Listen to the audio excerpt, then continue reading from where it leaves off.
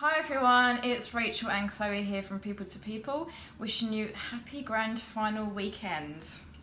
We'd like to round off the week by mentioning a couple of roles that we're working on. I have an opportunity for a receptionist to join a small accounts firm in an amazing, trendy Southside location. If you can have a can do attitude and you're highly organised and you're looking for a great culture and team, please get in touch with me.